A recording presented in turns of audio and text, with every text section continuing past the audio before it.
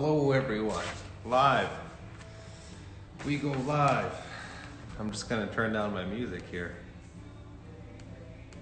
Playing some Led Zeppelin. All right. So we're just gonna give it a few minutes, guys. Um, we're gonna get people logged in, and we're gonna get started here. Rob and Brandon are probably going to join us today, which is going to be good. So we're talking about sciatica today. Sorry that I'm looking down at my computer here, but we'll give it just a few minutes.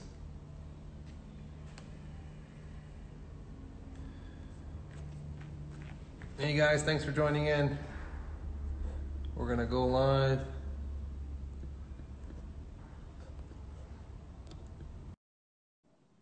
Waiting for Brandon. Are you in yet? Oh, there you are. Hello. How's it going? Not too bad. How about you? Can we get three people on this? I don't know. Let's see if. Uh... No. I'll get. Uh... I'll get to if he can go on and see if we can both do it.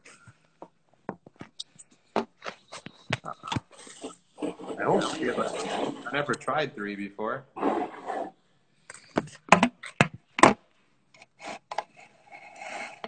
just going to pull up the uh, the presentation that we have lined up here.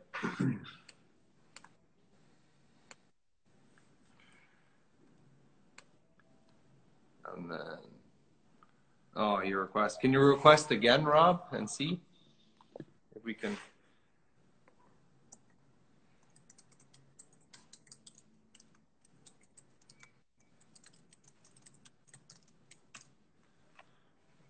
No, I don't think he can do it.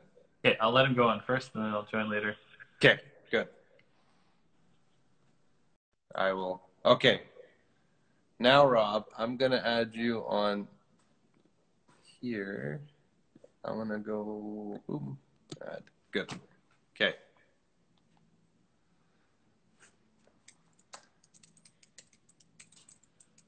Rob should be connected here in a sec. Awesome. There he is. There's Rob. Okay, perfect. We are good. I'm gonna just turn on uh, Zoom here, and that way we'll be connected there. How's it going, Rob? Hey, things are good. Things are good. How was your weekend? The weekend. Yeah, it was the weekend. Uh, it was good. Yeah. Did some cooking, got outside a little bit, got the nice weather happening now. What did you cook? We made um we made like gnocchi on Friday, risotto on Saturday, and yesterday like a like Mexican chili bake kind of a thing. Oh, nice. That doesn't sound bad. Eating well. I'm not losing weight. Uh, yeah, I think I'm like, I don't know if I'm losing. I'm like stress eating, so I'm working out more in stress eating, so it's kind of balancing out. Okay, okay. It's balancing out. It's those good gains. Sorry? Lean gains. Yeah, pretty much. I want to like come out with like a PR or two PRs at the end of this. I made the goal today, so we shall see. We shall see what's going to happen. Let's see. I believe in you. I do too. I hope I do. Let's give it a couple of minutes and then we'll. Yeah, I have a goal. And I think I can do it. I'm like, by the end of the pandemic, I want to hit these numbers, but I don't know how long it's going to be. So if it's like another two months, then I'm pretty confident. If it's not, then I don't know. We'll see what's going to happen with that. Yeah, lots of unknowns. Yeah, yeah, that's true. Um, but we'll see. Working out in the garage is a bit different. Not as nice. I wish I could do it here actually, but it's a second floor. It's a nice views, obviously, but um, I don't want to put a hole through the ground or like cause structural damage. Fair enough. Yeah. Um, oh wait, we got a chat here. Password protected link again. Used last week's link. Oh no. I'll have to look into that. Yeah, Zoom's not. I guess like the link that I posted on Facebook may may have caused some issues, but we'll see. I thought it would work. I thought it would work. You'll have to check that out, Rob. At the after this is over, you just have to check out uh, if that link works on Facebook or not. I will. Yeah, absolutely. Just because if I do it, I'm already logged in, so um, we'll see what happens. All right, so today we will be talking about sciatica. Have you seen it, sciatica quite a bit, Rob, in practice? A ton, yeah, absolutely, lots of it. Which is good because then we can like talk clinically about what we see and kind of how we do things and stuff like that. So I think that's uh, that's a good thing. Um, yeah, I've seen it quite a bit too, and I think like I think you would agree with me. It's kind of like an umbrella term. Um, you have a lot of things that fall into sciatica. Like we'll, we'll explore some causes of it, but um, essentially anything that's irritating that nerve. So that could occur from multiple sources, like whether it's the back or piriformis or an inflammatory response or whatever it is. So um, good to know like where it's coming from, and it helps you with the treatment plan. Because let's say it's coming from like your piriformis area, and then you work on the back. Yes, like you'll make the back stronger, but you might be missing the the root cause of of of the sciatic pain. So, is there any notes that you wanted to add before we go? No, I think you're totally right. Like I think um I think it's kind of one of those like um like commonly used terms that people use to describe different things as well. Yeah. Like um I find people will come in reporting sciatica and sometimes like you said maybe it's like a like a distal nerve irritation like a piriformis yeah. or like kind of like the classic like nerve root presentation. But I think sometimes people even have like um like pain referral from other structures yeah that can go down into like the, the glute or the leg. Or I find like some patients will even just kind of describe their back pain as being like sciatica pain. Yeah. So yeah. Yeah, it's definitely a lot of different areas. So hopefully this clears up what sciatica is with individuals that are, are watching.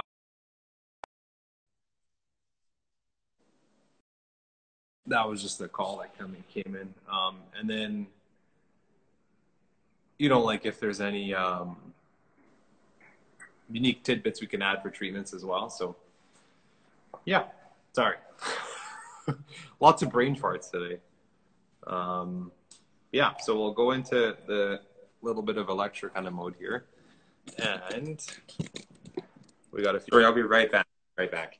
Rob's going to be right back. Okay. This is all up to me now.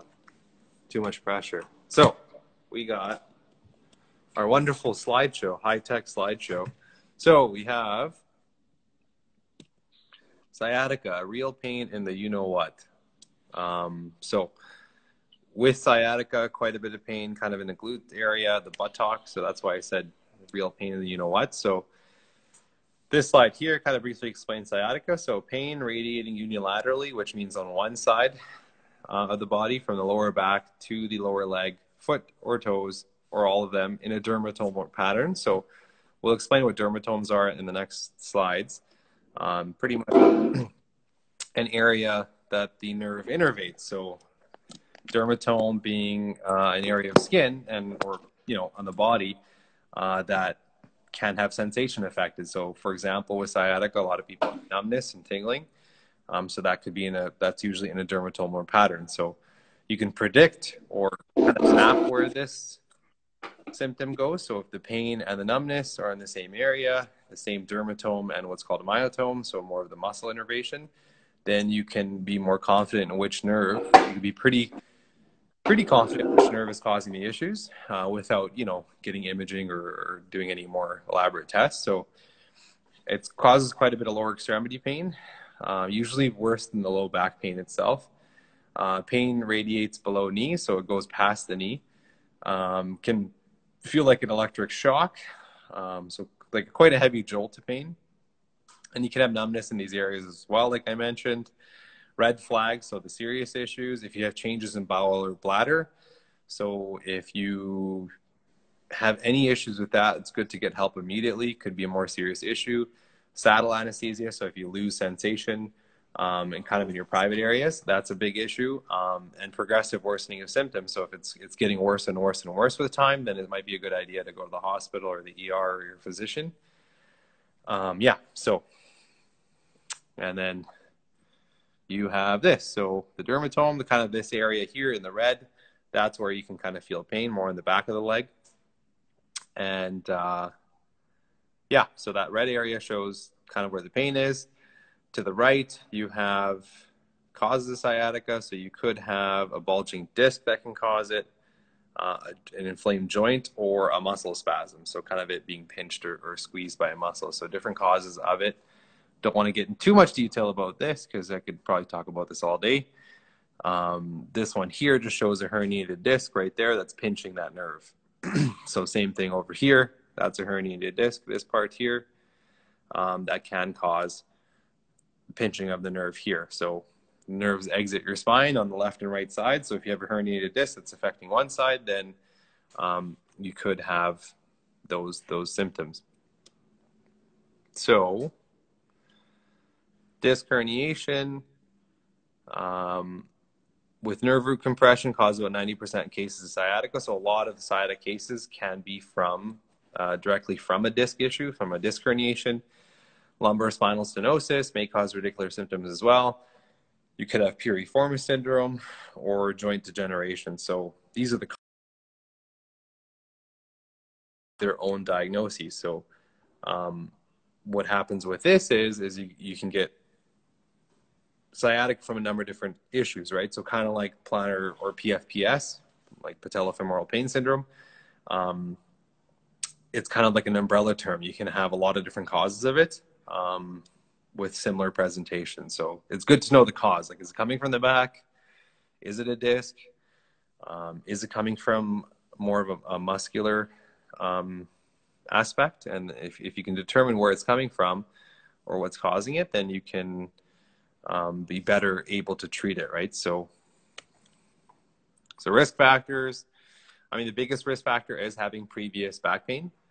Um, so if you've had episodes of back pain in the past, then yes, you're more likely to get sciatic symptoms or re-injure your back. So that's kind of obvious, but it's important to note that pre-existing back pain makes you more likely to, to have back pain in the future and then sciatica in the future as well. That's shown through research.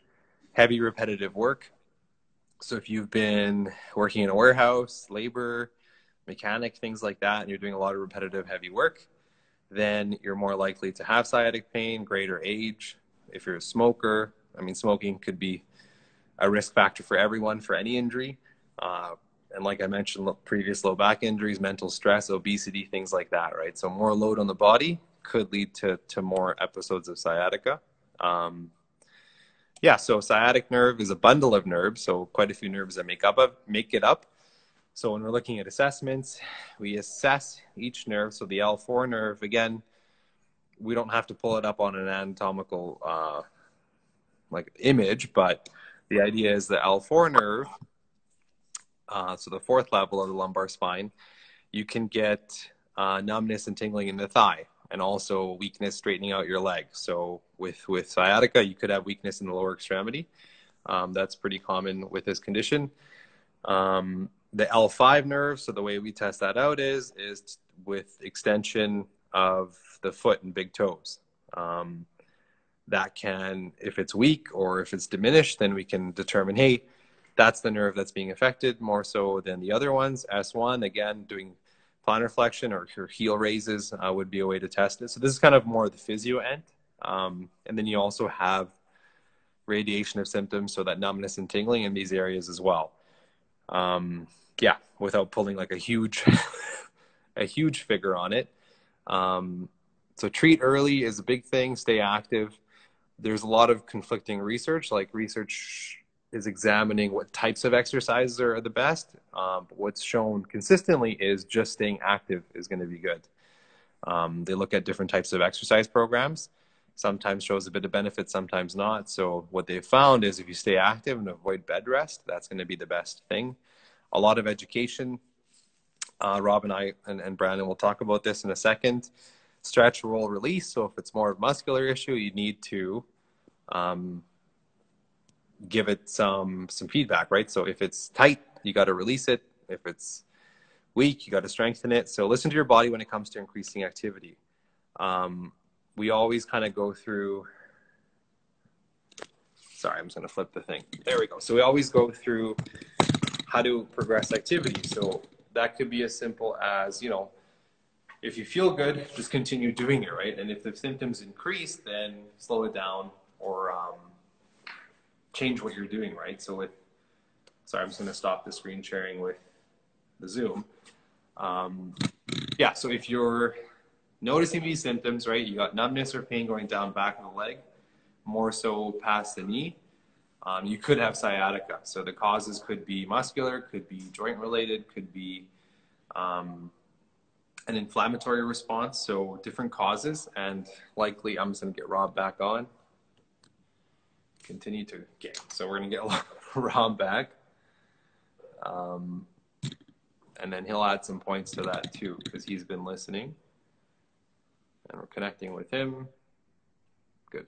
All right, Rob, anything to add on any of those points?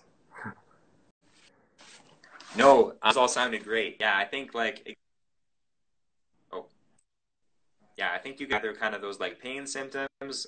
Those will sometimes be like a result of inflammation, or you can have kind of the decreased muscle strength and sensation that can sort of be uh, like a result of like compression and uh, um, like ischemic changes or blood flow changes.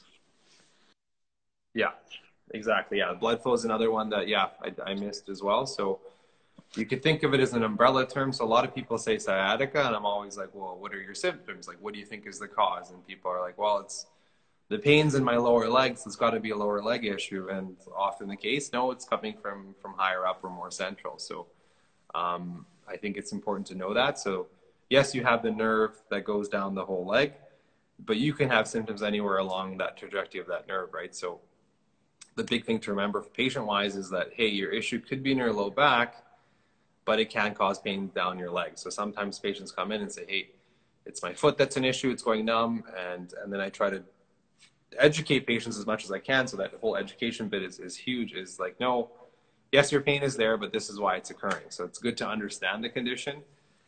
I know this is like a pretty brief breakdown of it, but uh, it gives you enough information to know how your body is set up mechanically, right? So um, the biggest bit is to avoid activity that hurts. So if bending down is causing more pain or causing more numbness, avoid bending down, right? So a lot of people do repeated back extensions.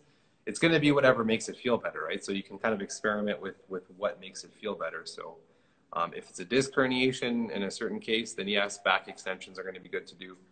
Um, we're just having a few connection issues with the Instagram.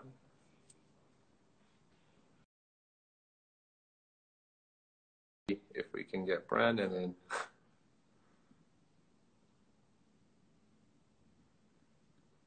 Let me add Brandon and see if that works. So, just a couple seconds. There we go. Brandon's here. Anything, hey to, add, anything to add on any of that, Brandon? I missed the last little bit. Could you just update? I what, sir? Just your last few sentences. Could you just repeat that? Oh, um, I just like uh, a lot of people go with like directional preferences for for sciatica and stuff like that, and I just was indicating that it depends what the cause is because sometimes flexion, like bending down, is going to make it worse. Extension can make it worse. So the biggest thing that I teach patients is kind of bend down, see how it feels, bend backwards, see how it feels, and kind of find your own directional preference. So if it feels better bending down, then just that's going to be what you're going to prefer with your body.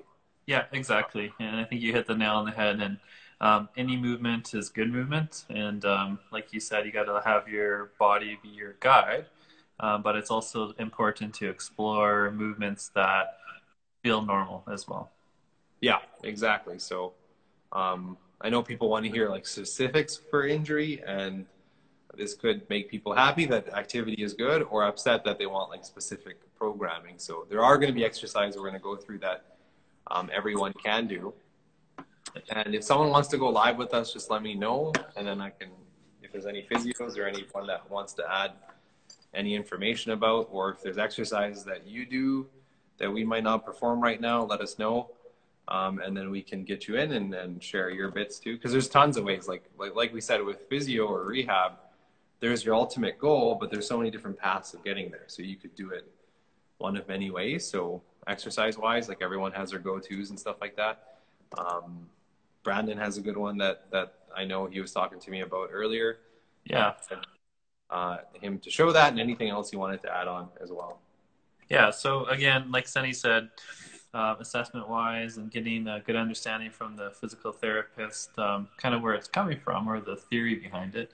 Um, that's kind of the first step because then you can start to understand uh, well what needs to be treated. So um, yeah, so let's have a, a, scenario where you know it is caused somewhere um, irritation muscular down the line. We'll say somewhere through that sciatic nerve. One of the common things I like to use, and Rob and Sunny, is, is uh, what we call a nerve glide or a nerve floss. So I'm just going to move my camera here real quick so everybody can have a better visual.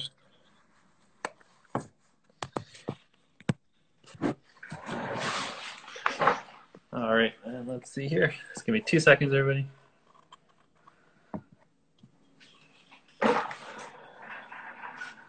Okay, so let's say it's my, my right side is my affected side here. And actually, I'm going to bring us up a little bit higher here. we got to, flossing is also important for your teeth. This is true. this is true. Yeah, yeah. Especially with dentists being closed, you know they can't uh, they can't save us. So if everyone flossed, uh, your teeth as well. Um, that's everyone. So yeah. Okay, so yeah, let's say it's my right leg. Let's say where symptoms are, are coming down my, my right side here. Uh, typically, what we'll try and do is with the opposite leg, uh, the left side, we'll take like an old uh, textbook and we'll put it on the ground just to give it a few inches rise so the pelvis is kind of more neutral. So we place that on the ground there. And with the left leg, what we call a glide, um, basically um, the nerves in your body, they need to move through your fascia and muscles. Um, if they didn't, you'd be in tremendous amount of pain every time you move yeah. in general. So they do have a natural glide uh, to those nerves itself. So typically I start with the right leg here and just like a pendulum on a, on a, uh, well, pendulum on a clock, I just kind of get that, that leg moving back and forth. Nice swing going for about 30 seconds or so. Um, usually I, I educate and I tell people get to the point where you feel a bit of symptoms. You don't need to get to the point where it's like 10 out of 10 or aggravating, but you should slightly feel, you know, a little bit of symptoms as you go through.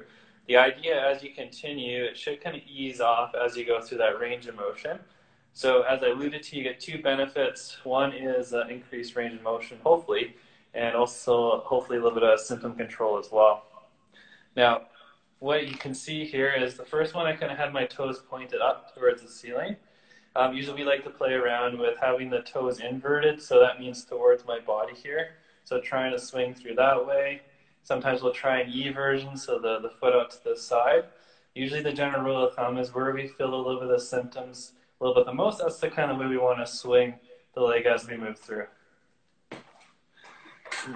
Okay, yeah, that's uh, that's nerve flossing. That's a good one. Yeah, another variation. I like that one. That's one that Brandon talked about earlier, and I was like, I never, never tried that one. So, what's some things to keep out, look out for if it recreates the the symptoms, Brandon? Yeah, so you, like I said, you don't want to be like into the point where you're going for like a minute um, or like two minutes and your whole leg is numb and you're like in 10 out of 10 pain. Yeah. That's probably too aggressive. um, and you're probably causing a little bit too much irritation from that end. But remember, um, yeah, just like a pendulum, find that zone where it feels relatively okay. Yeah. You're not going to have no pain because you're going to start with some pain, I'm guessing, when you do the exercise, but it should help ease it off a bit or help with mobility as you go through. Yeah, for sure. No, those are good points. Um, and then, like, how many times a day would you want to be doing something like this? Yeah, I- you know what? Anytime you're you're up, you're you're at your kitchen counter, you know, you're walking around your house, you got 30 seconds to a minute to do it. Just go for it. It's uh, it's one of those things that takes no time to do.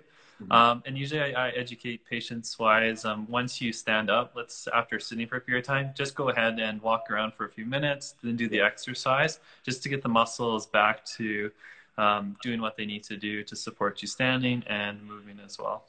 Yeah, that's great. That's easy enough for people to try. Anybody have any questions? You can kind of post questions about flossing. Another way to do it that some people may have seen as well. I like Brandon's way because it's a bit more dynamic and you're standing, so I prefer that. But um, another way you could do it, I'm just gonna adjust the screen here, and same kind of thing as you're recreating the symptoms, right? So, um, hands behind the back, right, looking down, and then straightening one leg out, right, and having the toes up. I'm to slide back to show you my foot or bend. Whatever- Whatever recreates a little bit of that pull, right? So you want recreation of symptoms, meaning um, you're going to be a little bit numb, you might be a little bit sore, but that's not a bad thing. That means you're in the right spot, right? So let's say if you didn't have any symptoms, then maybe you're doing it incorrectly or you're not in the right area or it's not the right like it's not the injury for the treatment right so um, so same thing with flossing is kind of hands behind the back looking down um, away a little bit. And then lifting the leg up. And I, I can even feel a pull down here. Does that mean i have sciatica? No. It just means i'm not recreating any of the symptoms right? So recreating Yeah. of symptoms just means like whatever your sciatic symptoms are that's going to be recreating. So whether it's a burning in the butt or numbness in the toes that's going to be your trigger is going to be the recreation of, of that. Yeah, and remember uh, when we're when we're talking about nerve flossing and nerve glides, in general, we're not talking about a problem that's caused by a central root problem. Because even when Sunny was demonstrating with uh, that amount of flexion and stuff, that might be quite irritating. But so our theory usually when we're, we're giving nerve glides is more of a muscular irritation, inflammation that's causing a lot of that problem there. Yeah, and that was like that umbrella term, like we said, it could be degeneration, could be a disc issue, it could be infl- an inflammatory response with the muscle. So that kind of leads into our next one is if we want to stretch the glutes or the piriformis.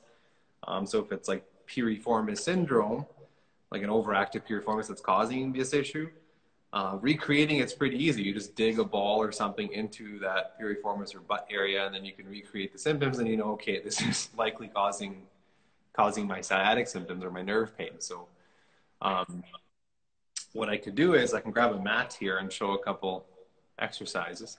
Okay, I'm gonna let you go full screen. Okay. Okay, thank you. And if anybody else wanted to join in, let me know. So Brandon left. So yeah, you just have to hit request and they can go live. Especially if there's physios, I'm calling you out. I'm gonna go down here and then I'm just gonna grab a mat. And then Rob, if you're listening to this, maybe try to just request it again. Let's see if it works out this time.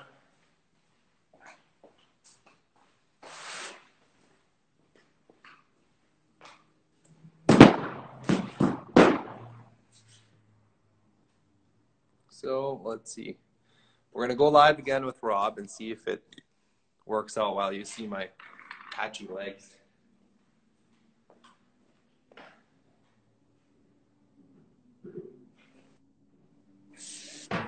Are you there, Rob?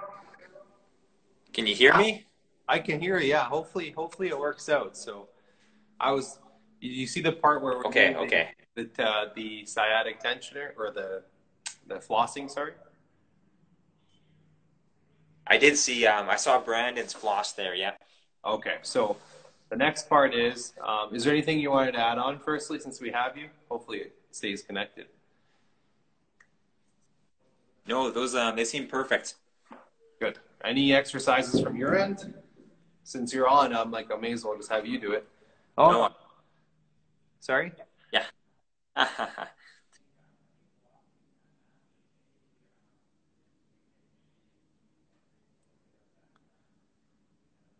okay.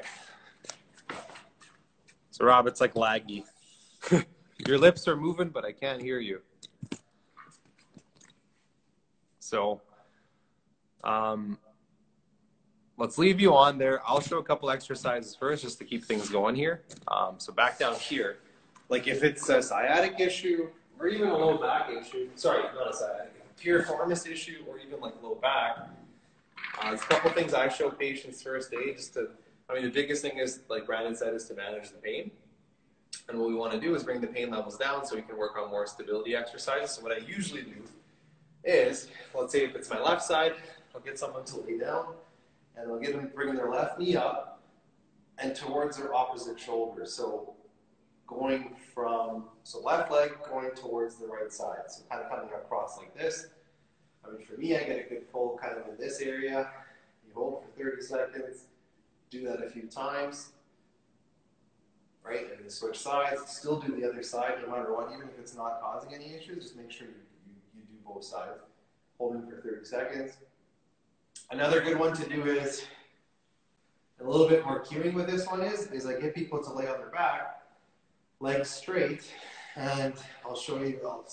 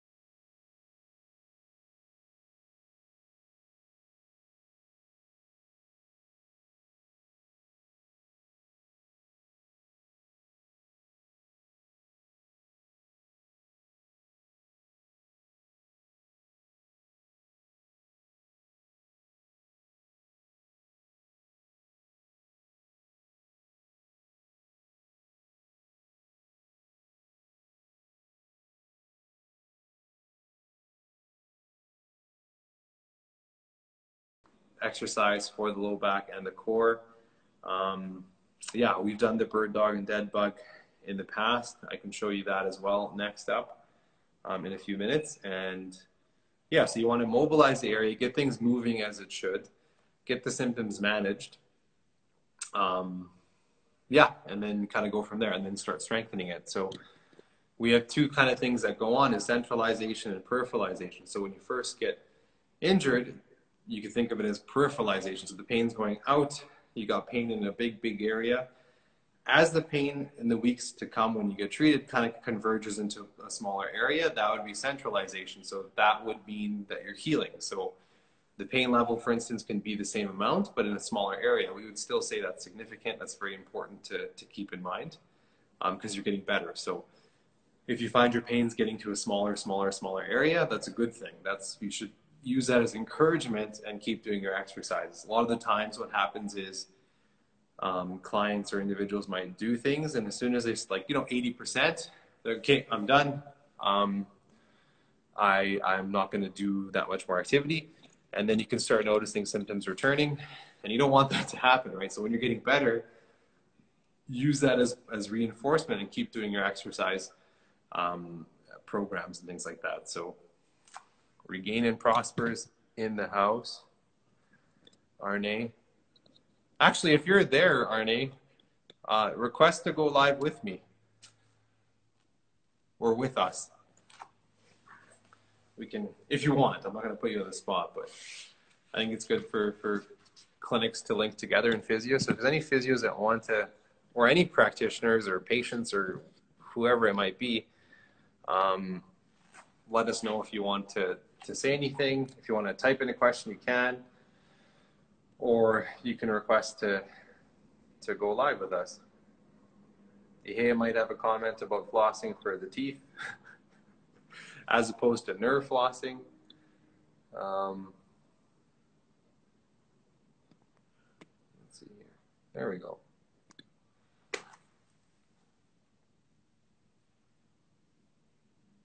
So we're going live with somebody I haven't seen in a while, so this is kind of exciting. Hey, Arne. Hey, guys. What's going on? Long time no see. yeah, it's been a while. How are you doing? Good, good. Not too bad, eh? This is crazy. So Arne and I went to school together. We were in the same grad class. So for everyone who's logged into this, uh, meet Arne because your your clinic, Regain and Prosper, that's in um, um, suit. What's the town again? I always forget. The military. In, yeah, in, in Wainwright. Wainwright, yes. I know the military trains a lot there and stuff. So you probably see a lot of military there, eh? You bet. Yeah. Yeah, for sure. So how's there? How are things? good. Very, very different here, but uh, yeah. it's good. Town's very slow, but no, it's good. That's good. Well, yeah, it's tough. It's tough everywhere. It's good to have you. Thanks for. I, I hope I didn't call you out to be like, hey, come on. No worries. No, I'll just sit on. in, and if there's anything to add, I'll I'll watch if that's okay. Yeah, so we talked about actually we talked about sciatica, how it's. I'll give you a brief breakdown, and that way kind of uh, gives everyone a recap. So we talked about sciatica, how it's kind of like an umbrella term. It can happen from inflammation, a muscle issue, a joint issue. It can happen from like a herniated disc. So you get a lot of causes of it. Um, and then Brandon, who you know as well, you graduated with, uh, mentioned some things about some flossing, so some nerve tensioners. Um, I showed some like release through your piriformis if it's from like piriformis syndrome. Um, so doing some ball release, did some stretches, kind of going into some more core. So like I, I was discussing if it's a herniated disc, that area is relatively unstable. So going over some core exercise. So if you have anything to add. No, I'd say that's kind of the the basics of it. So you guys have touched kind of the main reasons as to, as to why it exists. Yeah, I wouldn't say it's always a sciatic nerve like you touched on. A lot of times it is just more inflammation. I find. Yeah. And um, and a lot of times people also think it could be a herniated disc, and again, usually may not be the case. So um, sometimes you don't need to get scared. You just need to see someone or really just start some stretching. Usually it's just tightness or irritation and as you loosen certain areas up or do some strengthening, it usually gets better within a week or two. So yeah. Yeah, for sure. I was looking at a lot of the articles and stuff and research shows like it's hard to, to pinpoint like an exact exercise program because there's so many different causes so research can't really label hey this is the go-to thing to do it just shows to stay active and avoid things that hurt which make a lot of sense but yeah. a lot of the times that doesn't translate into practice because even me if i'm like doing some lifting I'll be like, oh, that, the back pain's not that bad, and then ignore it, and then the next day you can't really do much, right? So, um, I know you probably see that quite a bit too, where people just aren't listening to their symptoms. Yeah, uh, I find this is an area uh, like like with a lot of injuries, if you just manage it very quickly, it doesn't usually develop into a bad issue. I find a lot of people that have sciatica are like they come in and they're like, hey, I've had two or three years of these symptoms. Um, what do I do? So then it's a bit more, it's more difficult to find the cause because there's so many areas that might be inflamed or they're so sensitized. Uh, versus like someone who just comes in a week of pain and it's a bit easier to kind of say this is coming from the back, this is from the piriformis, this might be the yeah. and stuff. So, um, yeah. Any exercises? Like, what's your go-to core exercises for this? Um, usually I like like the dead bug. So yeah. basically, I do a little bit more bracing things. So just laying on your back and then kind of activating your core. Yeah. So the dead bug exercise is one I usually go to. Start very, very easy, very simple, just kind of activating and then adding in the arms and legs. Yeah. Um, yeah, I'm not really set up to show it, but if you guys, I can, you I can show it. Um, I yeah, that's that's the one I like, and then like planking. Um, um, those are always good too. But the biggest thing is making sure you're activating your core properly. So doing the dead bug, like you can do your arms first. So like I, you probably tell people to push their back down towards the mat, right? Yeah, you bet. Yeah. So getting hands up, legs up. So like hips are 90 degrees, legs 90 degrees, arms are up. And usually what I start with, if like someone hasn't done it before, I'll just do the arms while they can maintain, you know, activating their core and pushing down on the mat. Progression would be going down with the leg, back up, and alternating. And then another progression would be doing opposite arm to leg. So right arm to left leg. You can't really see my arm, but it's going back. And then the other ones, right? So just like that. Yeah, that's perfect. And the biggest thing I cue people is just to make sure don't go to the advanced version if you find you're cheating or your back's arching.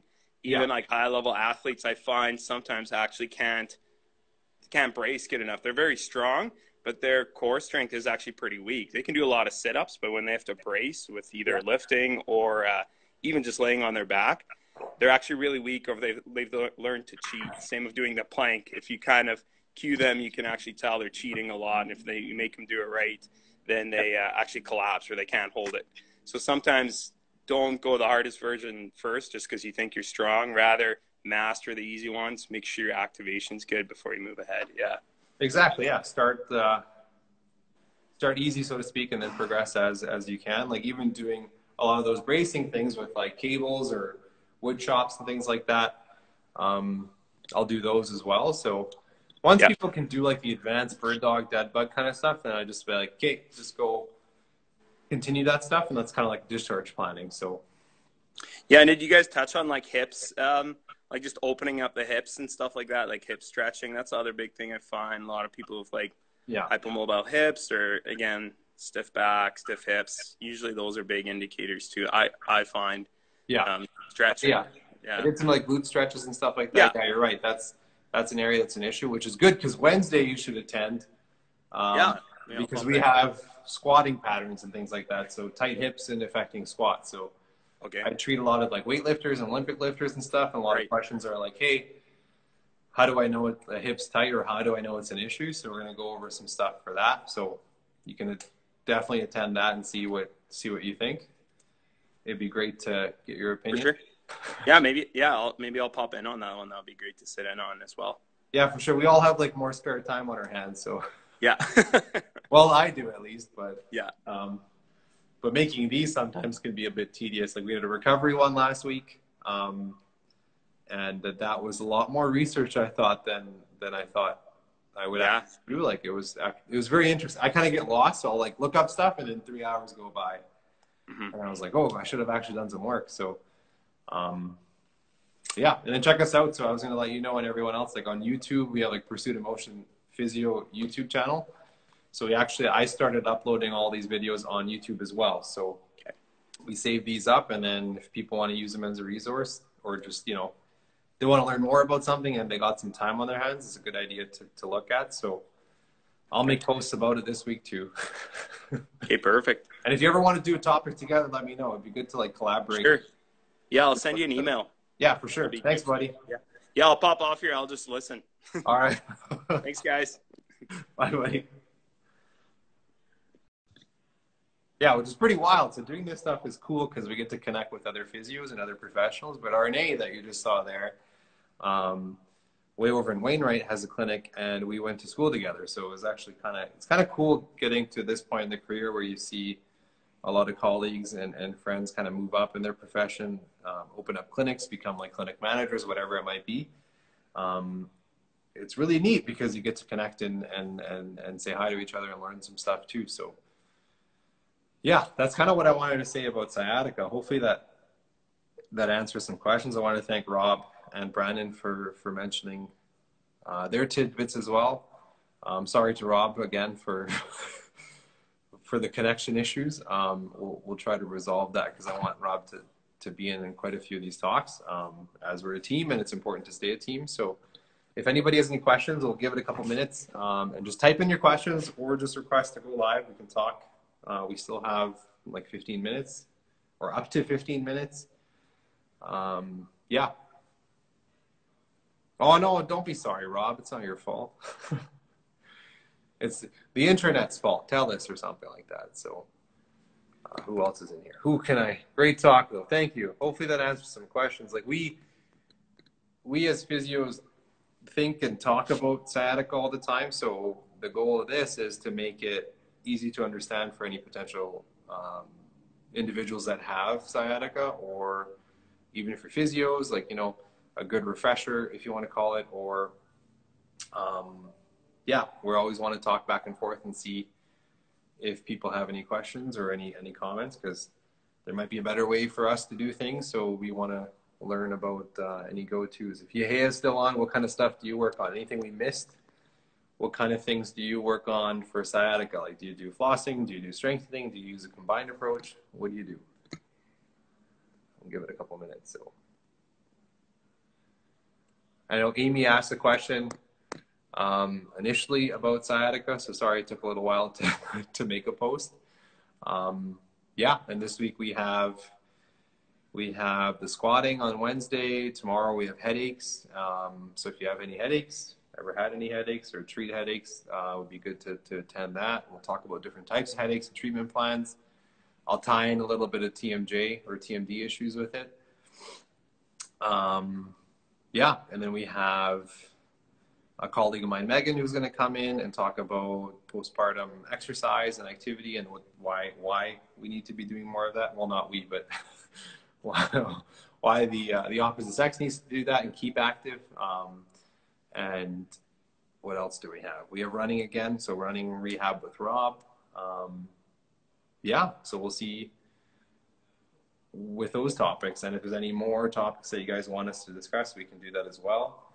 Um, yeah, we'll give it a couple more minutes for any questions, and if not, we'll we'll end it. I'll talk about my plans for the rest of the day. Uh, nothing much, actually. Probably some more research for the rest of this week's talks and then next week, and then probably get in some physical activity myself. So I'm fortunate enough to still have a decent setup here um, and in the garage as well. So do some workout. I wanted to get into baking, but I'm glad I don't have a lot of the supplies because I'd probably put on a lot of weight. Um, yeah, Rob Rob does Rob's doing a lot of baking, so it's kind of nice to to see. And then even like looking on Instagram and social media and stuff like that, it's cool to see how people are doing like new hobbies and stuff like that. They're cooking more. Like it's it's it's. There are some positives with this, you know, terrible situation, but um, so yeah, let us know what kind of hobbies you do.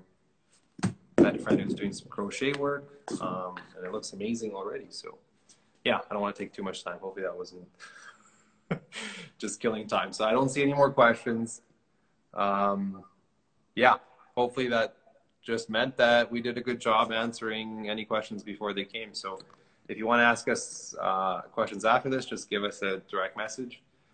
Um, yeah, either on Facebook or Instagram or my emails.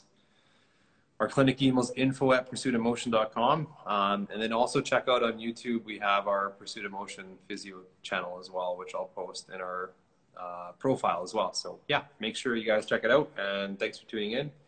And we'll see you guys tomorrow. Peace out, guys.